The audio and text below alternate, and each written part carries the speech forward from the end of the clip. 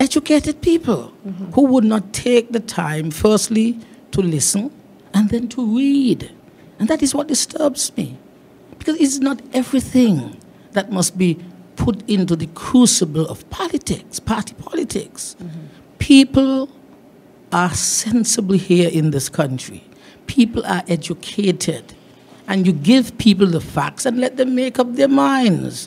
The SIDF was conceptualized, strange enough, you would not believe, with the assistance of one of your own countrymen, the former Prime Minister Edison James.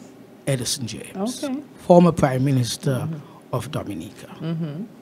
who referred to us here a company called Henley and Partners. Henley and Partners partner, had been negotiating with him in Dominica.